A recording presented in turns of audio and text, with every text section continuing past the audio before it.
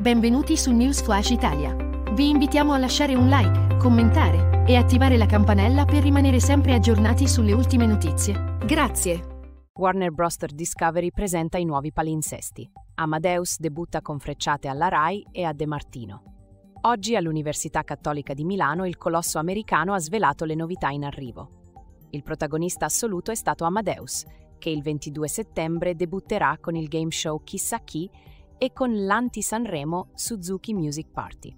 Il conduttore ha lanciato frecciate ai suoi ex colleghi Rai e al rivale De Martino, sottolineando la svolta generalista della rete. Accanto a Fazio e Crozza arriva anche Belen Rodriguez che debutterà su Real Time in autunno e sul 9 nel 2025. A fine settembre ci sarà una serata evento dedicata a Renato Zero. Amadeus ha espresso soddisfazione per la nuova sfida e ha rivelato di aver ricevuto proposte economiche simili dalla RAI, ma ha scelto di cambiare per motivi affettivi. Ha criticato la mancanza di riconoscimento da parte della RAI e ha sottolineato l'importanza dei rapporti umani nel lavoro. Ha anche lanciato una stoccata a De Martino, sottolineando che non ha mai guardato il suo programma dopo averlo lasciato.